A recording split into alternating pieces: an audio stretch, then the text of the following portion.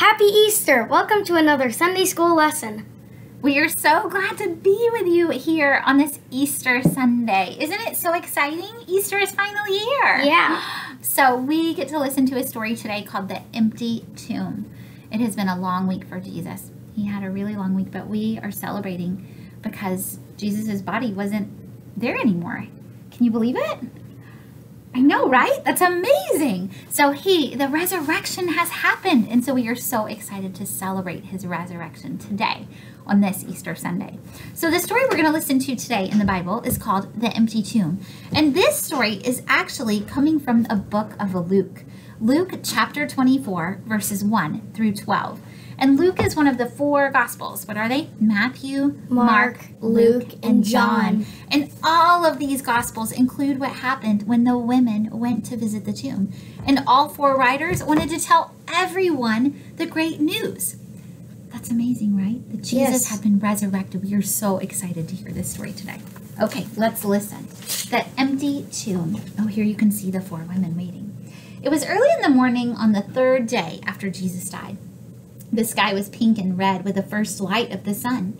The women didn't notice the sky. They hurried to the cave that contained Jesus' body. Mary Magdalene and Mary, the mother of James, led the way. Two others, Salome and Joanna, carried the spices to rub on the body of Jesus. They had a job to do. Oh, they were so sad because they were coming to help Jesus with his body. Can you see their faces? I wonder how they were feeling knowing that they were going to have to go and take care of Jesus' body after he had died. How do you think they would feel? Sad. I think kind of sad. You can see their faces. They look really kind of sad, don't they? When the tomb of Jesus came into sight, they froze. Uh oh. They had forgotten about the huge stone that sealed the opening to the cave. How would they move it? The women kept going into the cave anyway, and as they came closer, the woman could see that the stone had already been rolled away. They peeked inside. Ooh, it was dark in there. Brr, it was cold in there. Drip, drop, it was damp in there. What? It was empty in there. Jesus was gone. Look at their faces now. Can you see what they look like now? How are they feeling? Surprise. They're super surprised. An angel appeared in sparkling white clothes. The glow from the angel brightened even the darkest corners of the cave. And the women shielded their eyes from the blinding light. Can you imagine what they would look like? Don't be afraid, the angel said. What did he say? Jesus isn't here. This is a place for the dead. Jesus is alive. Hurry, the angel said. Go tell the disciples. The women did not disobey. They ran to tell Jesus' friends what they had seen and heard. Oh, who had they seen and heard from? An angel. angel. And he said, This is where dead people are. But Jesus is not dead. What did they say? he is alive. He is alive. Oof! Mary bumped into a man, tripped, and fell at his feet. Wait, she knew those feet. A familiar hand reached out to help her. Wait, she knew that hand. She looked up. Yes, she knew that smile. It, It was. Jesus. Hello, friends, Jesus said. Jesus really was alive. The women hugged his feet and shouted with joy. What did he say to them? Go tell the others the good news that I am alive, Jesus said. I will meet them in Galilee. I can't wait to see them again. The women had a new job to do. They had to go tell everyone that Jesus was alive. what a wonderful Easter morning! They got there and they noticed his body wasn't in there. The angel is there and said, Why are you looking for him? He's not dead, he's alive. And then who did they bump into when they were walking down the road? Jesus. Jesus himself. And he told them, He said, Yes, go tell the others the good news. What? That I am alive. that is so exciting. That is a wonderful Easter story to think. We knew it, but now we really know it after the women visited the cave and discovered he wasn't there, right? So, do you ever think of things that maybe um, at Easter and at springtime when we see animals that change into something new? Yeah. Can you think of a little animal that we see that's crawling around, and next thing you know, you see it's flying around? A butterfly. A butterfly. How did it start out as? A caterpillar. That's right. It starts out as a caterpillar, but then all of a sudden you don't see the caterpillar anymore. But now we see A butterfly. So when I think of caterpillars and I think of butterflies, I think of new life. I think of things that change, right? Yes. Just like Jesus did. We saw that he had died. We saw that, and we read the stories about it in the Bible. But he wasn't really dead. He was alive Yes. right? He was resurrected. And so I thought, what a wonderful craft we could do to kind of remind us of Jesus and his resurrection. And the empty tomb is to make something that reminds us of new life, like butterflies. Have you seen any butterflies yet this spring? Um, I not haven't yet. Seen, I haven't seen very many, but we will. They will be out and we will see them soon. So let's make a fun craft today to remind us of this Easter story. And let's go ahead and make some butterflies. Would that be fun to decorate our house with? Okay. Yes. Can you tell us what materials we will need? Cupcake liners. How many do you think we would need? Two. Okay, that's good. Um, a pipe cleaner. Oh, and a little bitty one. We don't need much, do we? Yes. Okay, or even string might work maybe. Okay, what else? A paper. A clip. A clothespin. Yeah, those are kind of funny, aren't they? Yes. Some tape. Good. And that's it, right? That it. looks good. You could use some markers or crayons if we want to decorate, right? Okay, so tell us what we want to do first. so you'll make your cupcake liner flat like this, Mhm. and then you fold down the middle, hmm Fold it in half. and then you do this. One more time. So Yeah. fold it and then fold it again. Okay, so it looks like this. So here, let's show them again. We started big. We fold it in half.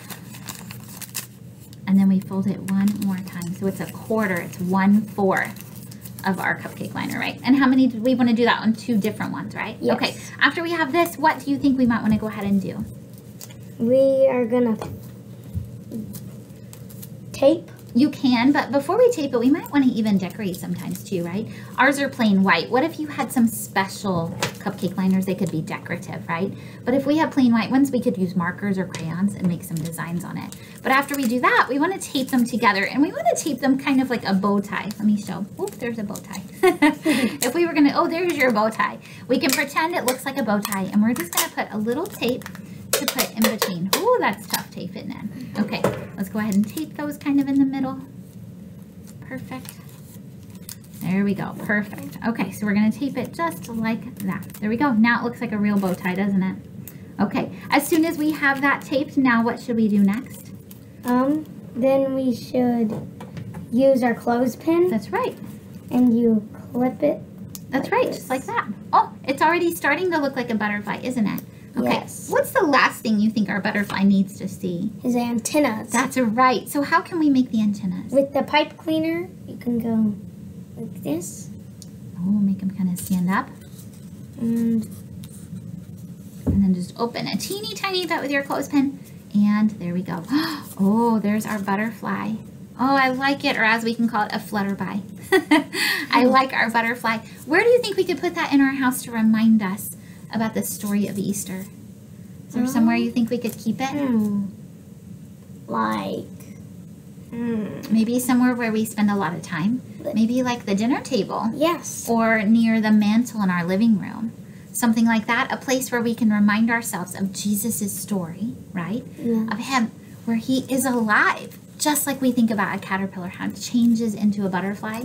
We can remember jesus is not dead i know we saw that with our eyes or we read it in the bible but that is not anymore jesus is alive we are so excited and it reminds me every time i see a butterfly i think of the easter story so then we can have our little butterflies around our house to tell our story. We might even be able to give these to other friends, right? And tell Yes. them the story about Easter. Oh, maybe we could send some to friends and family. Happy Easter. Jesus is alive. We are so excited and we are so glad that we got to be here with you today to read this story and Yes. make this special craft to remind us of Easter. Yes. Thank you for being with us today. Thank you. Bye. Hi, happy Easter. Well, last time we were together, we talked about Jesus going into the city of Jerusalem. And if you remember, it was kind of like a parade. Remember, he was riding on the back of a donkey. People were actually laying their cloaks down and they were calling him pretty much a king. And do you remember there was someone that, so a group of people that did not like that? Do you remember who it was? The Pharisees and the teachers, that's right. And they wanted Jesus to tell people, no, that's wrong, stop. And Jesus, do you remember what his response was? Well, if the people don't talk, the rocks will cry out. Well, it's a week later. Do you remember what's happened? So, Jesus has died on the cross, right? So he went in and it was a celebration. He was arrested. Remember, one of the disciples betrayed him. Judas betrayed him in the garden. He was arrested, taken to trial, and the Roman soldiers, they crucified him. So Jesus died on the cross on Friday, and now it's Easter. It's three days later. What's so special about Easter? Well, if you told me, hang on, we're going to read and see if you're right. So we are still in the book of Luke. We're in chapter 24, verses 1 through 12. You ready? Here we go. On the first day of the week, so it's not like, you know how we think Monday morning you start school?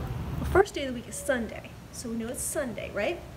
Uh, very early in the morning, the women took the spices they had prepared and went to the tomb.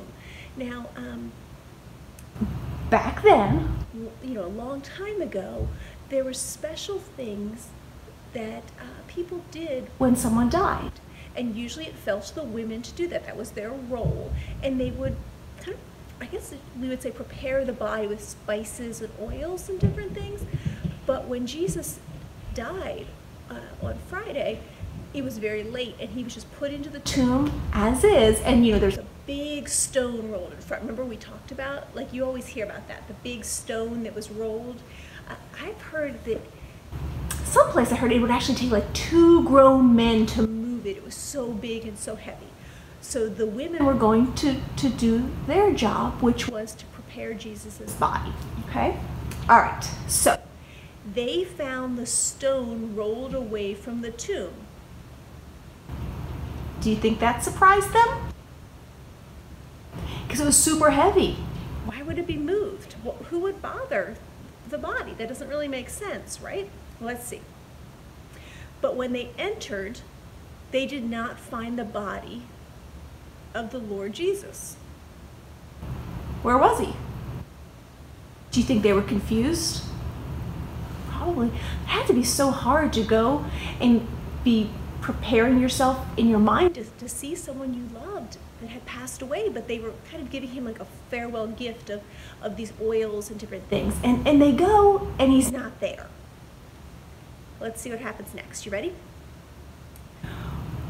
While they were wondering about this, suddenly two men in clothes that gleamed like lightning.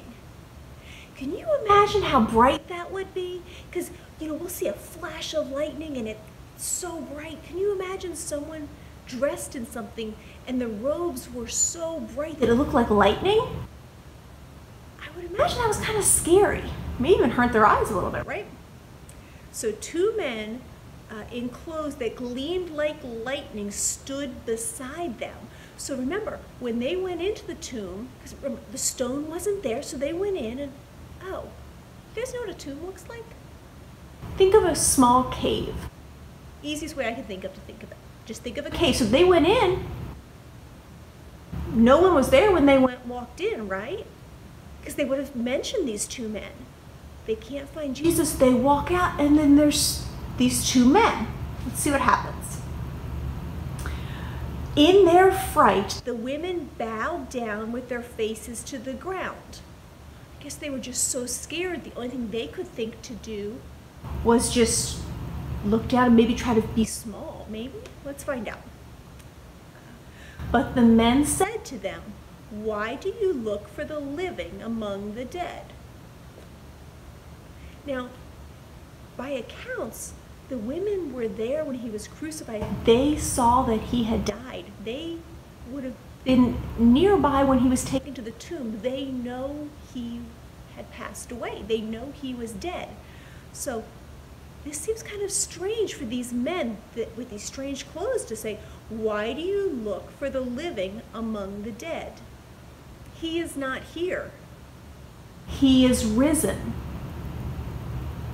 Remember how he told you while he was still with you in Galilee?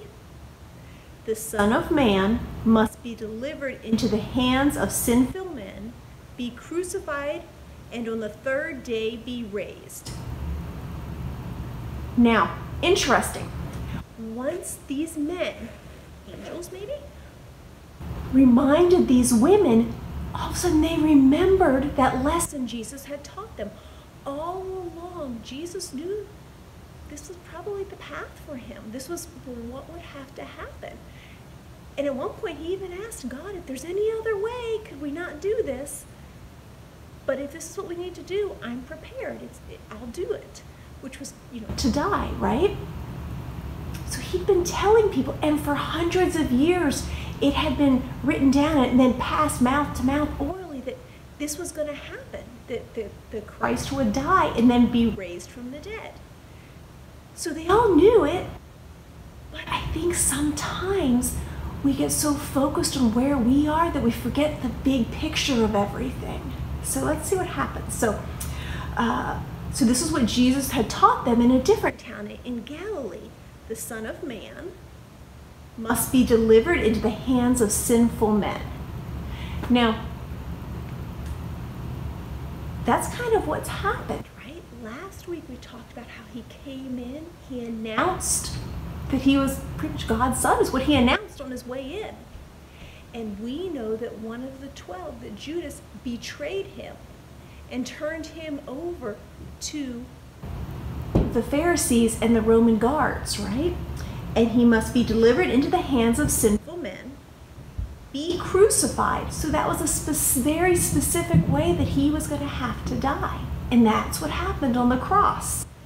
And on the third day, be raised again. Well, I wonder if the women even realized how many days it had been since he passed when he when they went to the tomb. I wonder if they were thinking, will he be there or not?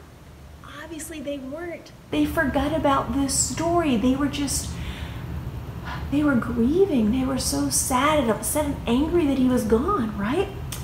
So let's see what happens. When they come back from the tomb, so the ladies got all this news and went back to where the men were, right? So when they came back from the tomb, let's see, they told all of these things to the 11 and to the others. Well, who are the 11? Remember, we usually think of the 12 disciples, right? The 12, the fishermen that, that Jesus called to them, follow me, right? That's who we think of as the 12 disciples that he taught and they traveled with him. Why is it only 11? Now, remember, Judas betrayed him. So he's not one of the 12 disciples anymore. Now there's 11. So um, they told all these things to the 11 and to all the others. And this actually tells us who the women were. Because remember, back then, unfortunately, it was just different, and the men were kind of in charge. Um, and so the women didn't really count. They, they didn't, it was just different. I'll leave it at that. So it was Mary Magdalene, Joanna, Mary, the mother of James, and the others with them who told this to the apostles, who told this to the 12 disciples. But they did not believe the women because their words seemed to them like nonsense. Now, this is interesting because these weren't just strangers that came and told the 11 disciples, these were women that they knew, that had traveled with them, that they had a bond with right? and they couldn't believe what the women were saying. I think it was just like when the women went to the tomb and saw that it was empty, it didn't click for them what Jesus had told them in Galilee that I'm going to die and then I'm going to come back. They weren't thinking of the bigger picture. They were just so focused on their grief, right? So let's see. Um, Peter, however, got up and ran to the tomb. Bending over, he saw the strips of linen lying by themselves. So back then, they would actually wrap the body in thin pieces of, oh, kind of like bed sheets, like strips. Kind of think of them like, yeah. What came to mind really quickly was like a Halloween costume, a mummy if you wrapped yourself with like toilet paper or something like that. That was the visual that came to mind, so I'm just going to share it. So, uh, he saw the strips of linen lying by themselves, and he went away, wondering to himself what had happened. So he still couldn't process it. It was just too big. Have you ever had that happen where um, maybe something happens and and you you just are so focused that maybe um, I was trying to think if